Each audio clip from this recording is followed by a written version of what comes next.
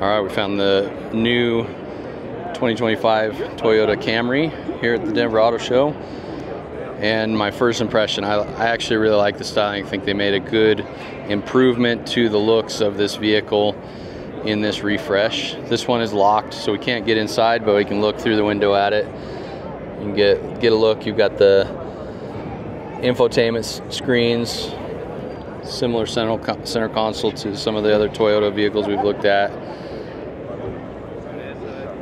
for the most part, I mean, this is a typical Camry, right? This XLE model.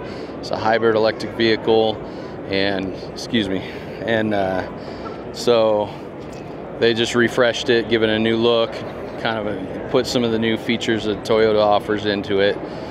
Let's see if we can get a look. So hybrid system, 225 horsepower. It's available with on-demand all-wheel drive and 232 horsepower. Um, couple different trims. This one is an XLE. They have an XSE, which is typically more of a sporty look, which this is the going to be your XSE trim in that picture. But yeah, Toyota Camry. I'm excited for the the new refresh. I think it looks clean and modern. Looks really good.